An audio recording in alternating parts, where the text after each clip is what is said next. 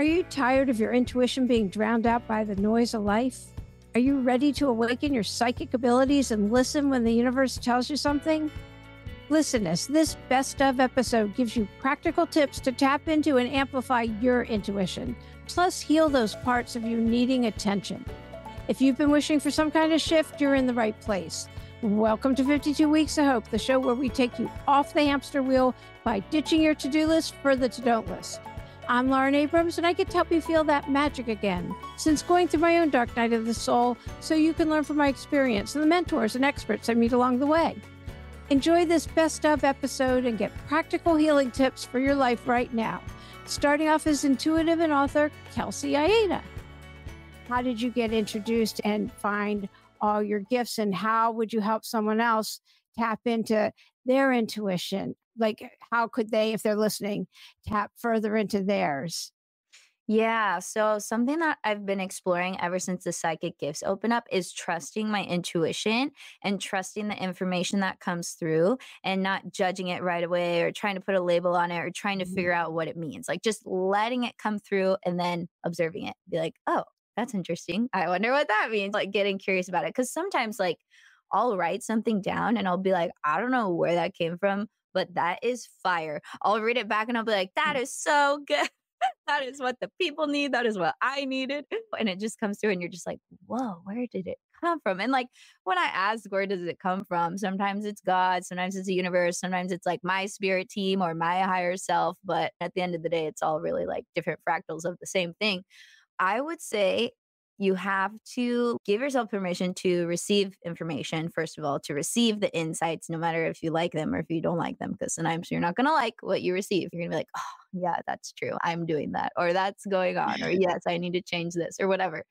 But letting yourself receive it, letting yourself not judge it, and then just practicing. Even I'm still practicing with clients, with friends, with family. I'll be like, hey, can I do this reading on you? Hey, let's do this new technique that I learned. So I feel like I'm just always learning, practicing, and like using the gift. It's like a language, right? It's, if you don't use it, you lose it. So I'm just trying to use it as much as I can.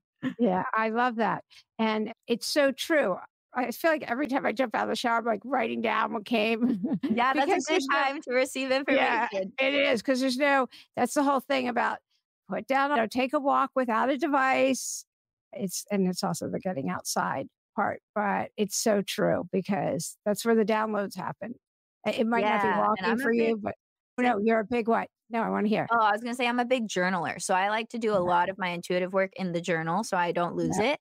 So, like, I'll pose a question to my spirit team, let's say if I'm struggling with something, and then I will just journal the answer so I have it in writing so I don't forget. Because sometimes yeah. if you're just doing it all in your head, it comes really fast and you're like, oh, I forgot already. Or if you like voice record yourself too, if you're on a walk or something, that's helpful. Uh, what's the hardest challenge you've ever gone through and how did you get through it?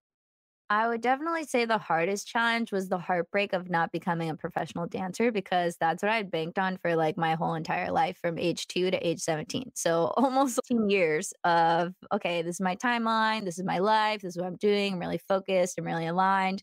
And then feeling like my body betrayed me by becoming injured and feeling like, God, what the heck? I thought you created me for this, but now you're taking it away and I don't understand. And that identity crisis that I went through during the depression and all of that was really tough because I had really wrapped myself around the identity of being this artist, being this dancer, being this ballerina and that's that's all I am, which is not true, but at the time that's what I felt and believed. And so I think mourning the loss of that timeline and then just realizing that everything that I was trying to get through dance and performing, like feeling graceful, feeling beautiful, channeling God's energy, feeling strong, feeling like my presence is like giving a positive effect to other people, like all of those things I can still access in other ways. And finding other ways, creative ways to access them has really been, I think, the most healing part. And then just not tying myself to such a limited identity anymore and just being me like I'm me and I do a lot of different things, but I'm not any of those things. And just really letting myself be bigger than what I'm doing or what I love. Yeah. Oh, I love that. Do you have a message of hope you want to give? A message of hope. Yeah, this has been something that's been coming through lately, like a message for everybody. And it's really to let yourself dream and to let yourself go for those dreams, even if you don't know how it's going to manifest or when it's going to happen, or you don't know if it's possible. Like, I think you owe it to yourself and everyone to go for it because if you genuinely want something in your heart of hearts, there's a reason why.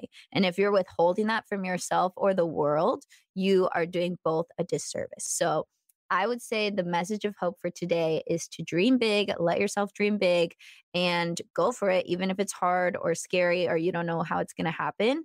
Because just because it hasn't happened yet doesn't mean it won't. But I absolutely think we're all hardwired with intuition. So, all joking aside, I do think we have access to it. I think it's a deep inner wisdom. And, you know, we've forgotten how to listen to it, you know, and how the information comes to us. But we all have that wisdom within, especially in these trying times when so many of us feel stuck and we're trying to figure out next steps. It's an invaluable skill to have. It is. And people are like, well, wait, how do I do that? I want to do that. And how did you get started? So that's three really huge questions. Right, right, right off the bat. Oh yeah, oh my gosh. Yeah. But I love giving people practical information about how to trust it because it is it is invaluable. You know, we all get it in different ways. In a weird way, it's kind of like learning a language, but you're kind of it's unique to you. So the main, the, I'll start by just defining what it is. I mean, that probably the quickest definition is simply quick and ready insight. But I think of it as sort of divine wisdom that we're all hardwired with it. We all have that wisdom from our soul that's guiding us. And I think a lot of people are under the impression that it's that you know a booming voice Lauren, here's what you're meant to do. Here's your next step, or here's your mission in life, should you choose to accept it. Anyway, it doesn't come that way. It comes as a, a, might be an aha moment. It might be a still quiet inner voice. It's kind of a whisper. Sometimes we just have synchronicities and coincidences that begin to happen that kind of guide us in the right direction. Sometimes it's a dream. I often find when I'm asking my own intuition for guidance, the synchronicities and coincidences often show up like i'm guided to the right conversation or maybe to listen to this podcast or to read a book or you know to it's like the answers can come from other people too but it starts to come when you're going what's my intuition saying about this decision or this issue? So i think we can kind of allow ourselves to be open to that guidance. Do you have a message of hope you want to give? You know i think it really is that it's uh, you know we're all in a transition and that the bad times don't last that they do get better and that they can change and keep your focus on what you want not what you don't want. I mean that's what those guides say to me said to me and that's probably the thing that's held me through all of these dark times that i've gone through is that these dark times don't last. They don't last. You'll get through it. You have the strength and they're happening you know for you not to you. You know that they're helping you become strong in maybe the weak places or the broken places and that you'll also be you know, able to help other people who are going through these dark times, like Lauren's doing. You know, that her dark night of the soul has really opened up this energy to be able to help others. And, you know, we're all going through that right now. I mean, through one thing or another. I mean, COVID really decimated a lot of us emotionally and spiritually and financially. And so, you know, you might be here going through that just to lift other people up and find your own tools where you can be helpful to somebody else. I always try to remind myself this is just something I'm going through right now. It's not going to be permanently the situation. And that's one of the things I love about Qigong is that it's a lot easier than Tai Chi. And when people call the office and they say, Chris, what practice should I do? Should I do Tai Chi or should I do Qigong? I say, if you want to improve your health quickly, and if you want a tool right away that, to help you with emotional trauma, past and present, then Qigong is what you need to do. Now, there's different styles of Qigong.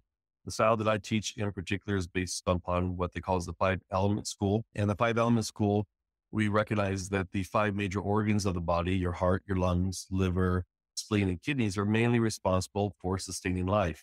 And uh, these organs have different negative emotions that will affect them and it will show up as so many different types of chronic disease, inflammatory diseases, and chronic pain.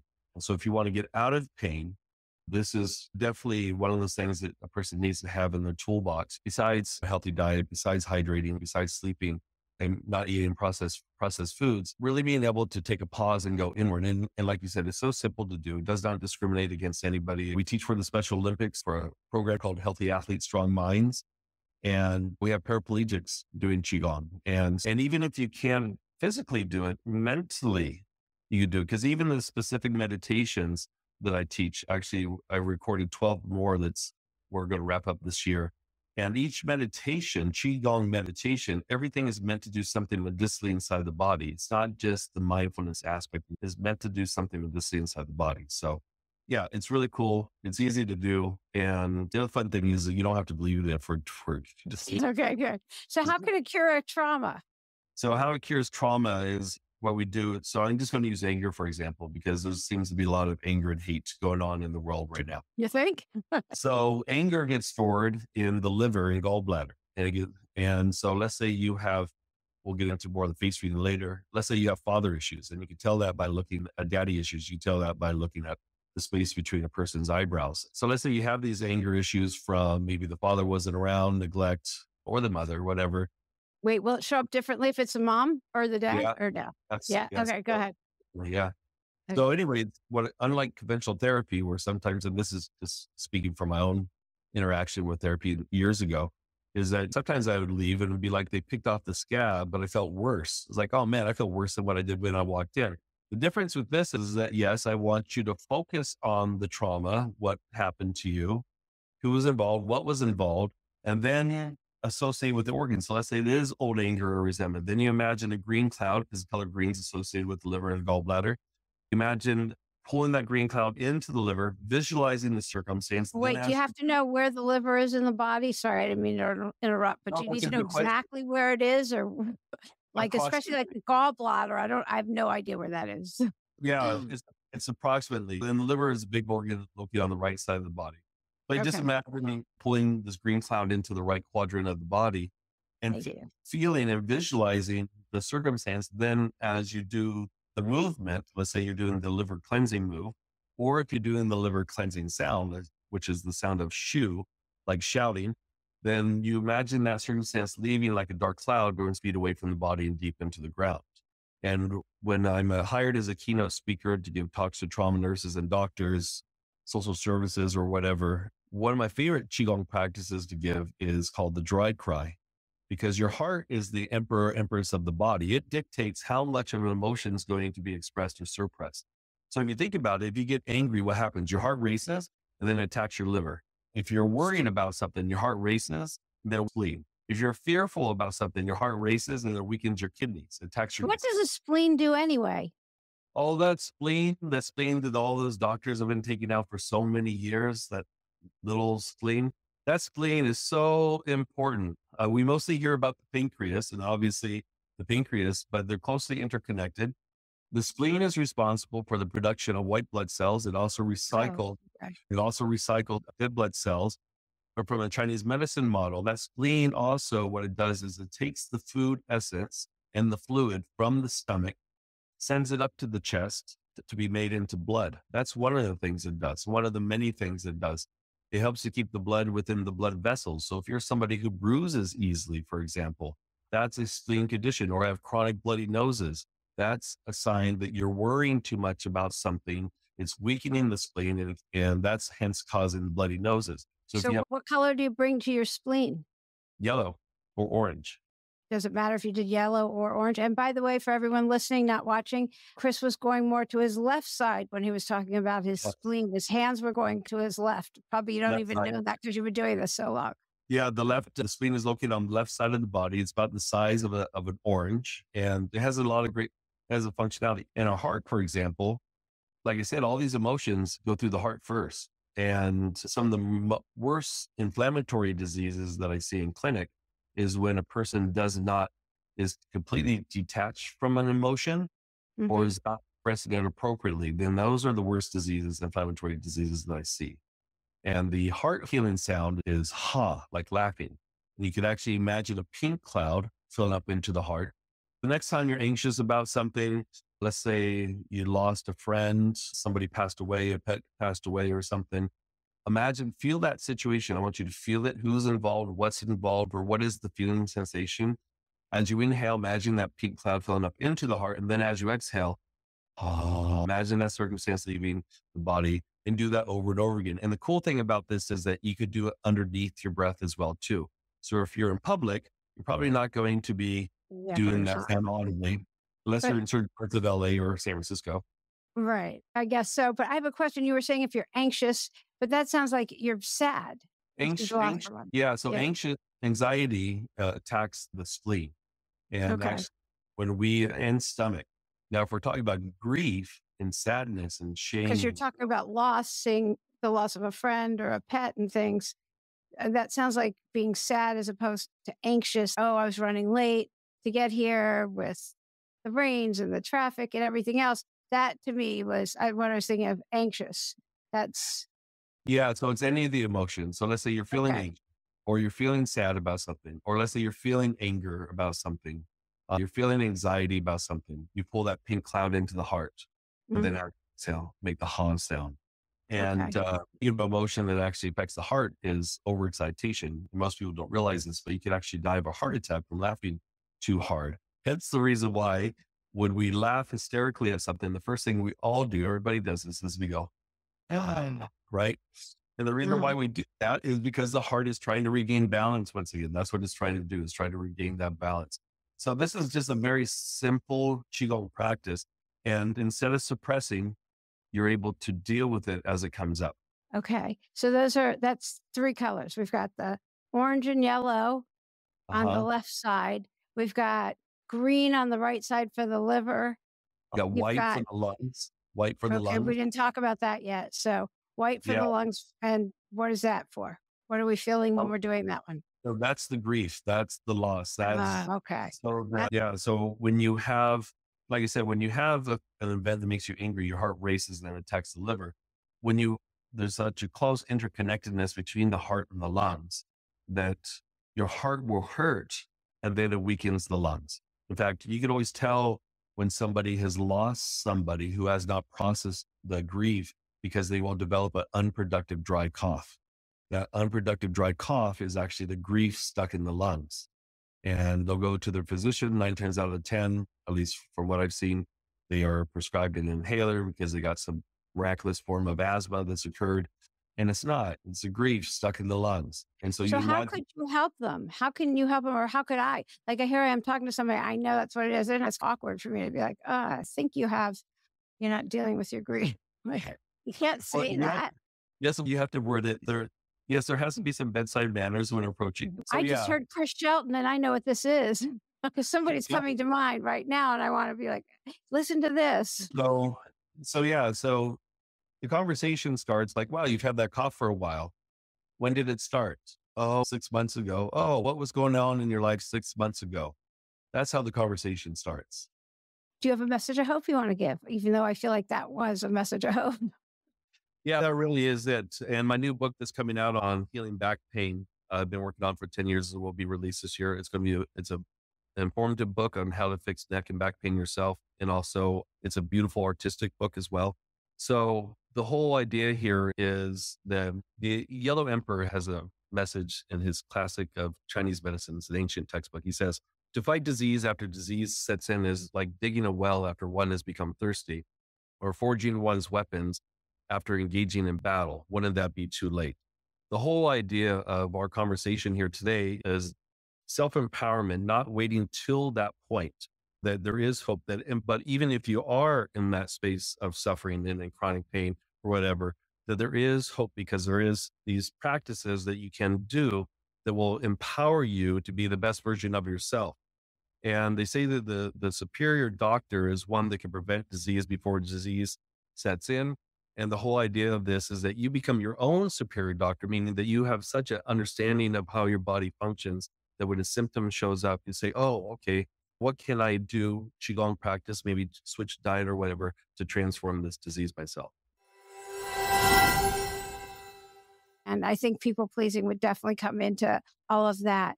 Okay, sexuality. I mean, we can't just gloss over that because the shaming of girls or the conforming and everything else, uh, repressing. Uh, there's just so many different things. Uh, right. So they're, yeah, I mean, they are need space and room to explore this energy that's inside them, this this identity that literally they can't do anything right, right? They're either too sexy or not sexy enough. Like, I mean, women can't seem to do anything right in this space, and according to society.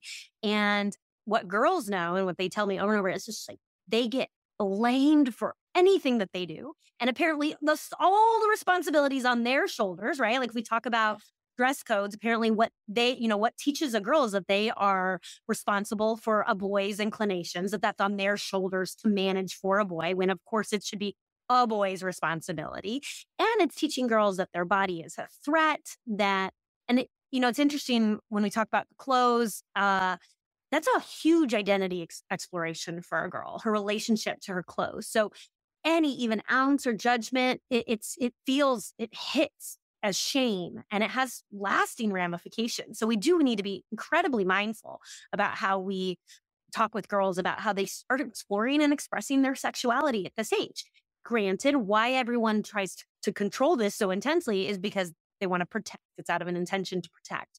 And which is understandable because it's not safe out there necessarily, right? And right. and that's why I start the chapter actually addressing sexual violence in a big way. And I am personally on the board of a nonprofit called A Call to Men, which is all about getting men behind the cause of ending gender-based violence. Because the truth is, if women could have ended it by now, we would have done so, right? Yeah. We actually have to turn to the dominant group that's in power here because it's, you know, we've named it violence against women, but it's actually male violence that's causing this. And why? Why is that? Those are the questions where I want to shift the conversation. You know, it's like, how could we raise our boys better?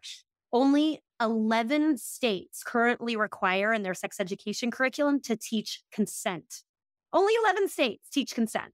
And that explains a lot. We're not teaching. Yeah, what, what so true. And I'm going to do a plug right now. I'm going to do a plug right now for my friend's book, uh, Consent. So, okay, go ahead. Right. Yeah. yeah well, listen, the boys are confused too. I say this compassionately. I'm not trying to like villainize men or boys in any way. Like we, I'm just trying to put the focus where we need to rather than girls just bearing the weight of shame and judgment in this space. Yeah, definitely. It's it's just ridiculous. It's hard yeah. to. I mean, I, I, it's not that I I don't have compassion for parents navigating this. Yeah. But again, I'm like kind of putting positioning myself as the advocate for the girls, right? Like there's plenty there's parenting uh, experts out there too that you know can get into certain other nitty gritties, but like I'm trying to give the girls a voice right now, and that's what they want to say. So many people want to write a book, so let's turn to that because people are like, oh, I want to write it. Um, oh, who am I to write it? All the imposter syndrome and all of that kind of stuff yeah. that comes up. How have you overcome those things? How did you, did you sit down and you just wrote it? Yeah. Well, I think we had some author friends in my life that gave me some good advice and guided me through the process a little bit. But the first point of advice was actually to write, to start writing the book. and I, I was in a position where I could just write the proposal first and take it out with an agent. And people are tempted to do that because you don't want to necessarily write a whole book before, uh, you know, you'd rather get paid to do it and so on. But by actually writing the book, and I had a first draft before I got my agent, eh, which ended up doubling and changing and stuff like that. But I needed to find out what was inside me. Like, what was actually the story that needed to be told? And I think if I had tried to pitch it into a proposal prior to doing that, it would have been different because I, I didn't actually know creatively, organically what was inside me, what story. And so by really honoring that creative flow and also my own authenticity, like it is such a creative authenticity journey writing a book where the more you can just be vulnerable, tap into what makes you unique, what is your unique story. Don't try to fit in some book writing box or what's normal that will not serve you. The more you can just understand what your uniqueness in the world is and write to that, the more it will pop. Okay. Did you go into a writing group or something like that? I did have a writing group just for just uh, just a few months, so, and that was helpful, just like keeping me on track. I mean, there's definitely like a discipline. Writing a book is a disciplined endeavor. It, I mean, you really have to set hours. That's something. If you want to write a book, like it takes really full commitment in your spirit to be disciplined enough to execute it do you have a message of hope you want to give? I'm going to just give something that just came into my brain, which is let yourself be weird and and embrace that because that's actually I feel like such a you know, people often think of weird as a bad thing and I have just seen it as this portal into your authenticity so often the more you can just like shed the shoulds of what you should look like, should do, should say and just be like, wait, no, that's my weird thing I do. And that's who I am. Like, and own it the more you'll step into your power and voice. Yeah. And the universe will rise up to meet you for everything you want to do and be when you are that. And nobody's paying that much attention, by the way. That's the other thing. I've never thought of a diplomatic way to say that, but um, I just love that. For me, one of the darkest moments, and I, I don't know why, it's I think it's the definition of how society defines a man that stuck with me. Of, you know, I had this moment of I couldn't protect my family if I wanted to. And I, you know, I I lived in a nice community where I didn't have to protect my family, but yeah, just yeah. a man that that that came to me and it was so heartbreaking to think if anything ever did happen, you know, at the time I could barely lift up one of my boys, which were 20 pounds at the time, without excruciating pain. We'll get to that in a few minutes with your conscious creator, your whole community with men and old ideas and all of that stuff. So what did you do? I mean, you went to Germany or like you're flying around, they discover what's wrong with so and I didn't end athlete, up physically right? Yeah. You're, so I this is on the tail end right? of, of, an athletic career where yeah, my my physical body has been yeah, such a big part of of what I do and who I am and of course how I define myself from a, a place of my ego mainly at that time.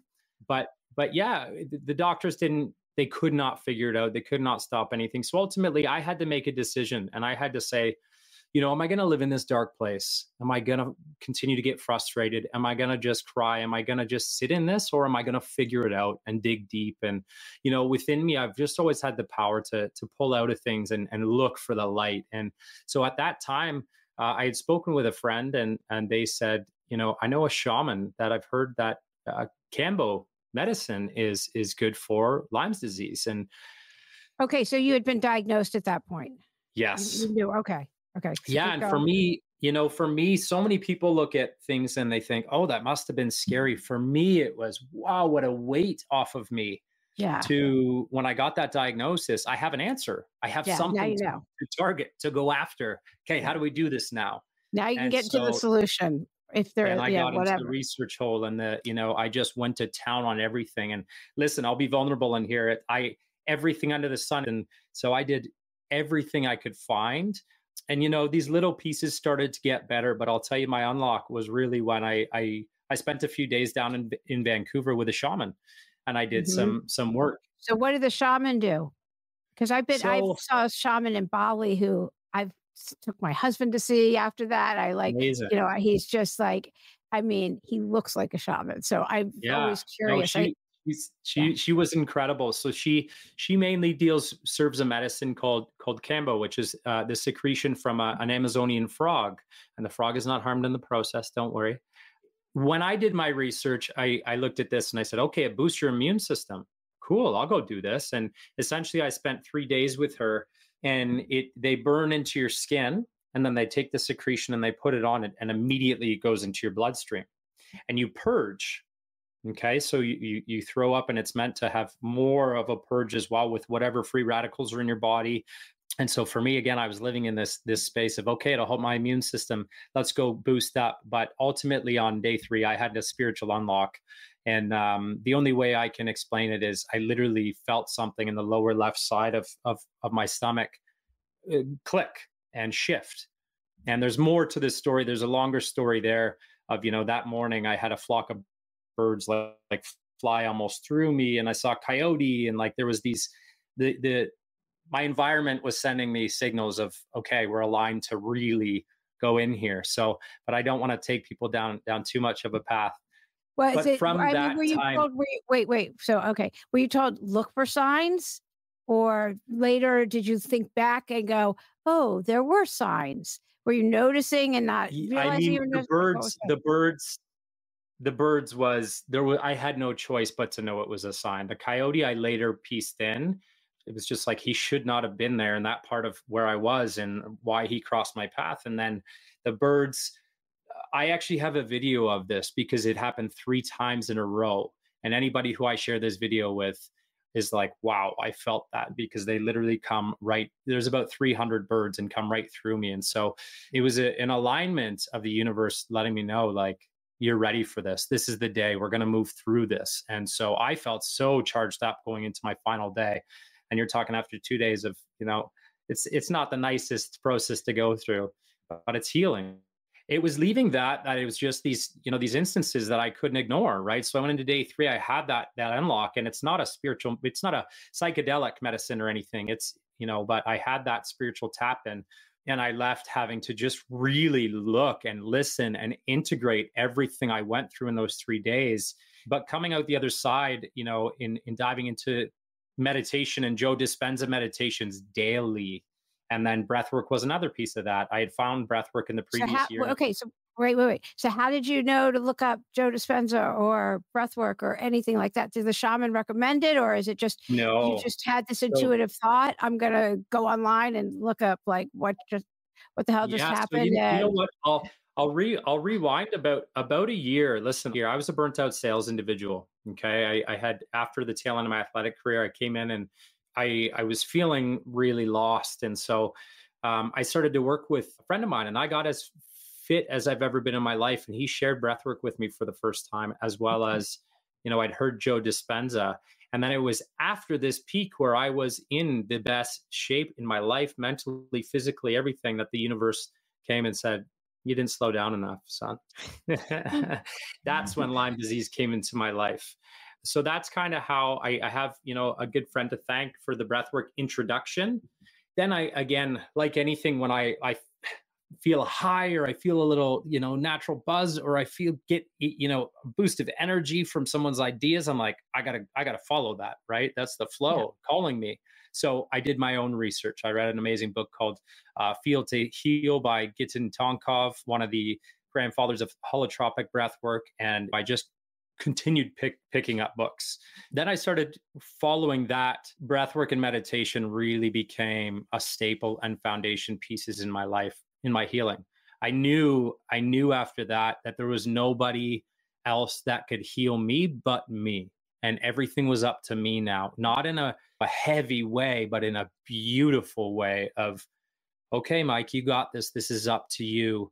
You are the unlock to everything, you know? And so for me, again, they're the only message I had at the forefront of my mind was this isn't just for me.